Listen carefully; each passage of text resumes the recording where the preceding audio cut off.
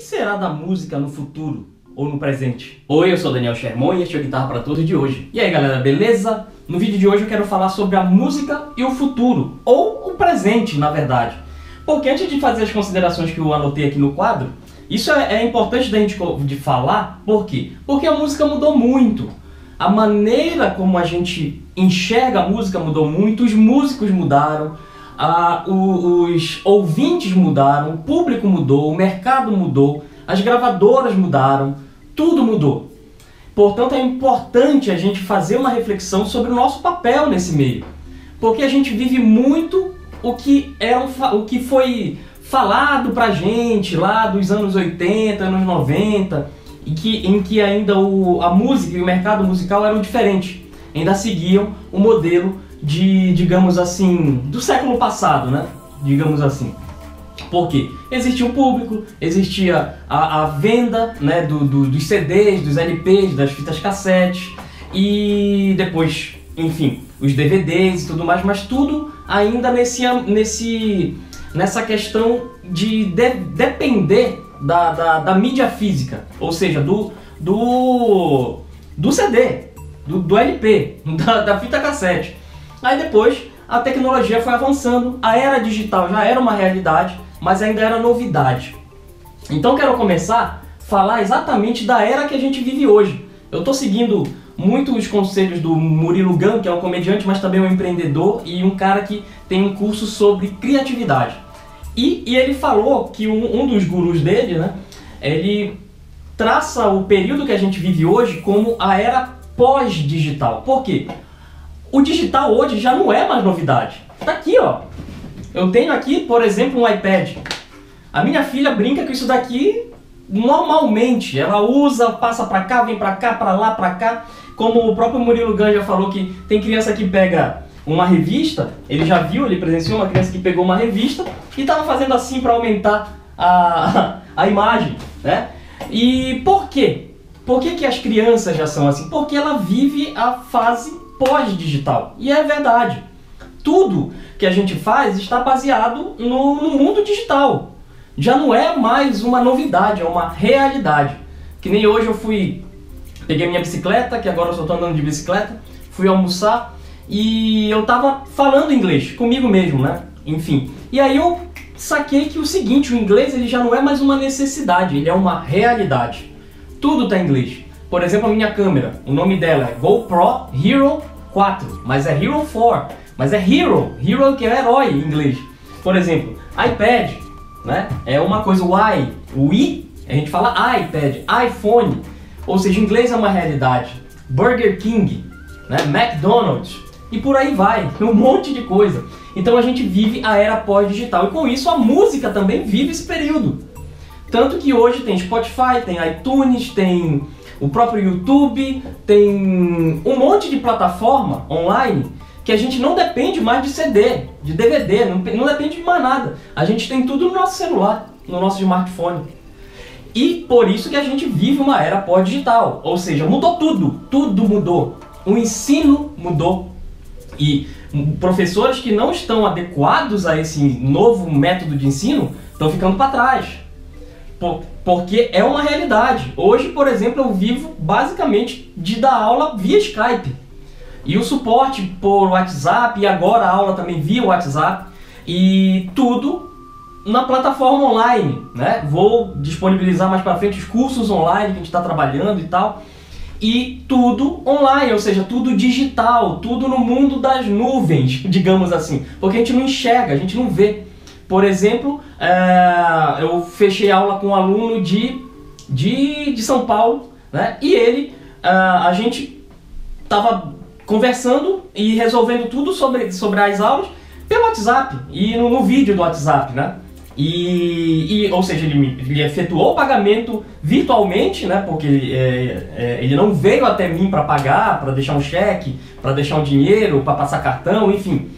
Ele fez tudo de longe, de uma outra cidade, né? E eu aqui.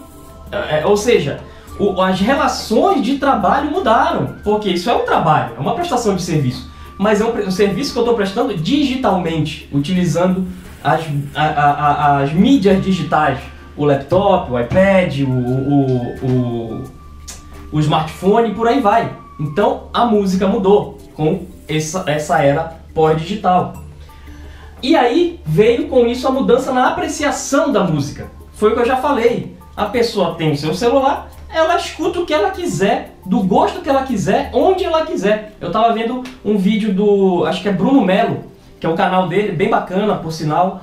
Ele é bem na onda do, do, do da guitarra rock, né? Então gostei pra caramba. E ele tava falando sobre ah, por que, que a música boa é, estava ficando em falta. Né? Acho que se, ele, se eu não me engano ele mandou hoje esse vídeo até. E, e ele estava falando, fazendo as considerações dele, ele que falou dessa questão da apreciação da música. Que hoje, antigamente a gente precisava do Walkman, do Discman, depois veio o MP3 e agora a gente não precisa de mais nada. Simplesmente o celular e uma internet. E a gente escuta aquilo que a gente quiser. Então a maneira de apreciar a música mudou. Porque antes a gente ia mais assistir as coisas ao vivo. A gente dependia mais de ir é, assistir as bandas ao vivo. E hoje já não. Tanto que mudou realmente. Então quem vai assistir ao vivo é porque realmente quer assistir. Porque ela não tem a necessidade de ir, porque ah, eu, não, eu não consigo é, ver o show de fulano de tal que ocorreu dia tal e tal, tal, tal. Porque a gente já tem um serviço de streaming, que é, por exemplo, Netflix. E, por exemplo, outros serviços que estão surgindo por aí, como a Amazon também, né? Então uma, a maneira de apreciar a música mudou. E outra, os robôs hoje tocam. Quer um exemplo disso? O Pat Metheny, que é um guitarrista que eu vou inclusive fazer um vídeo falando sobre ele, porque ele é um cara que me influencia muito, ele montou uma orquestra completamente automatiza automatizada. Ou seja, robôs tocando. Ele tá com a guitarra e ele faz o controle todinho com, com um pedal, com, com, com também com. Caramba, tô falando com com com com, com computador e ele compõe com a orquestra de robôs. O baixo tem uma, um dedinho tocando baixo. O piano tem várias, vários dedinhos mecânicos tocando piano. As percussões, a bateria é, e outros instrumentos, inclusive violão, tudo tocando através de robô.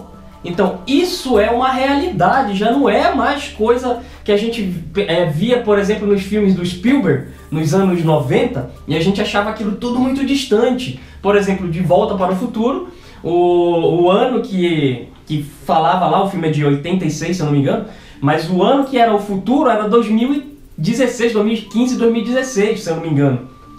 E a gente já está aqui. E aquilo que a gente estava vendo no, no filme do De Volta para o Futuro já é uma realidade. Muita coisa que, tava, que a gente viu ali é uma realidade hoje. E realmente, coisas muito mais avançadas que a gente nem imagina. Por exemplo, o carro hoje dirige, dirige sozinho. Já tem vários carros lá nos Estados Unidos dirigindo sozinho. O ser humano nem põe mais a mão. Eu estou assistindo aquele, aquele seriado que é o Black Mirror e tinha o, o, último episódio, o último episódio da última temporada, tinha o pessoal que, enfim, do governo e tal, e tinha uma agência do governo que gerenciava as coisas lá, enfim. E o carro não tinha volante, não tinha nada. Simplesmente as pessoas entravam e o cara acionava tudo lá no, no computador, no computador de bordo, na verdade era, enfim, uma coisa super ultra tecnológica. E ele pedia para o carro levar eles para tal lugar. Ia na velocidade que, que queria, enfim, tudo automatizado. Então hoje a gente a, a, música ela não é uma exclusividade somente do ser humano. Existe a, a, inteligência artificial, que é uma realidade. É uma grandiosíssima realidade. Hoje tem os algoritmos, por exemplo, do YouTube, os algoritmos do Google. Quando a gente digita uma palavra no Google, parece que ele adivinha o que a gente está pensando, né? Daquilo que a gente quer, é, como é que fala? pesquisar. Então, por quê? Não é que é milagre, não, não é isso. É a inteligência artificial que já é uma realidade. Isso é uma grandiosíssima realidade e a gente precisa se estabelecer nessa nova era pós-digital. E por último, o fator ser humano. Aí entra realmente uma questão que, o, o, apesar de toda essa inovação, a música ela ainda precisa, ela depende do ser humano apesar da inteligência artificial, apesar dos computadores e dos robôs conseguirem criar coisas sozinhos, digamos assim, né, seguindo algoritmos, seguindo é, programação e tudo mais, porém o ser humano ele tá por trás ainda disso tudo e vai continuar por muitos e muitos anos, especialmente na música. Porque é muito diferente um robô tocar uma nota, por exemplo, um vibrato, né? Ele vai conseguir fazer, mas não vai ter aquela coisa humana. É diferente. Então, por exemplo, eu gosto desse amplificador aqui, que ele tem uma tecnologia antiga, que é o que? A válvula. Ó, não sei se dá pra ver, mas aqui dentro tem válvula. É uma tecnologia ultra mega antiga, né? Foi quando começou toda essa onda de, de, de amplificação, enfim. E a válvula. Mas, e por que, que eu gosto disso? Mas isso aqui é tecnologia também. Mas percebe que isso aqui está mais próximo, digamos assim, do lado humano, né? Uma coisa mais quente, mais de, de, enfim, a gente sente um som diferente, né? Então toda vez que eu toco com esse amplificador por aí, o pessoal nota a diferença do som, porque é um som diferente. A gente está acostumado com o som do transistor, que, que foi uma inovação tecnológica também, assim como a válvula, porém já trouxe um lado mais plástico da coisa, aqui é um lado mais é, quente, mais humano, entre aspas, né?